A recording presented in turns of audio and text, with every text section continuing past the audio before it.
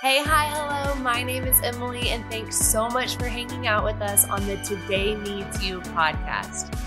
This is where we have the chance to chat about all the things from feelings and friendships to our favorite sneakers and our favorite Bible verses. We're going to tackle it all. I'm super pumped about today's episode, so let's dive in together. Hi, guys. Thanks for hanging out. Um, happy Valentine's Day.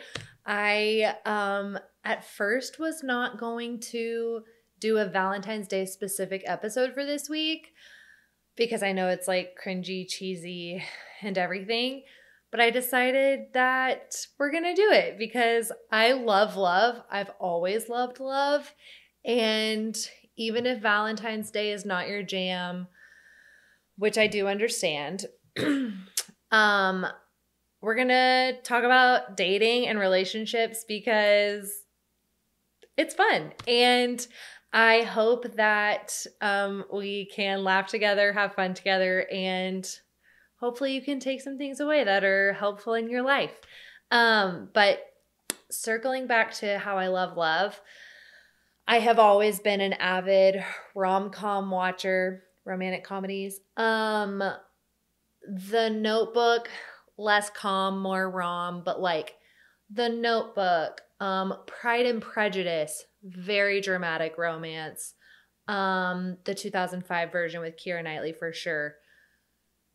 Like any, even if it's the love scene in Star Wars, the love scenes in, or like the love plots in Star Wars, in, I don't know, every movie. I love it. Fast and Furious. Great movie, by the way. Um, anyway, I love love, even when it doesn't involve me. And because I love love, the stakes are very high for me when it comes to dating. And I'm 28. I this is my first Valentine's Day um, that I have had a significant other, and this is also Two days before Valentine's Day, Jordan and I celebrated one year of dating, which is crazy. Um, but I've spent many a Valentine's Day without a significant other. And so I just wanted to talk a little bit about what I have learned about dating before I actually ended up dating someone, going on dates, having crushes, things going well, things going poorly, and we're just going to talk about it. Um, but first and foremost, I think the biggest thing is that um, you know, we talk about scripture and all the things and your life and how those things go together and John 10 10 says the thief being Satan the thief comes to steal, kill, and destroy, but Jesus says, I have come that they may have life to the full. And I love that verse so much because it's like, oh, yeah, Jesus wants us to have a full, great life. Um, and that doesn't come without bad things, that doesn't come without hard things, but it also includes great things. And I just want to say, first and foremost, that that is not to say that having a significant other, getting married, that's not how you have a full life. Those can be pieces of a full life and part of a full life. And having a significant other can be a part of a full life, but you are given access to a full life in a relationship with Jesus. And leaning into that and growing to be more like God and strive to live more like Jesus lived and leaning into that relationship, that's the source of a full life, not a significant other or marriage or having children one day or anything like that. Which, what's really cool about that, in my opinion, is that that means that we can live full right now, no matter what our life circumstances look like, what our relationships look like, that's available to us right now. And so we're going to talk about that specifically in the context of dating today, but just know that that's available to you whether you're dating or not. When I was growing up, um, which I still feel like I'm growing up, I feel like we're always growing up. But when I was younger, I definitely loved love. Um, brief little caveat I did have a fiance in kindergarten. And I also had an imaginary husband when I was three. We had three kids um, Casey, David, and Cavid, obviously. Um, so, anyway, all that is to say, I've always loved love. But I didn't want to do it wrong. And I was so scared of doing it wrong. And so I didn't date. I would have crushes. I would kind of like talk to boys, but then there was this huge wall that was like, eh, we're not taking that step. And I realized that for me, it was because I was scared of uncertainty and scared of not knowing how the relationship was going to play out. So I didn't even want it to start. And I have learned that that's one of the cool things of a relationship, especially a romantic relationship, is that the point of dating is kind of to see if you want to keep dating each other. And I realized that as I was dating Jordan, as I am dating Jordan, but I realized it pretty early on of like, oh, I'm not supposed to start dating by having all of the information about Jordan, about what our relationship would look like. There were a few key things that I like made sure we were on the same page about pretty early on. Um, and he did as well. We both cared about those things. Um, but like we both love the local church.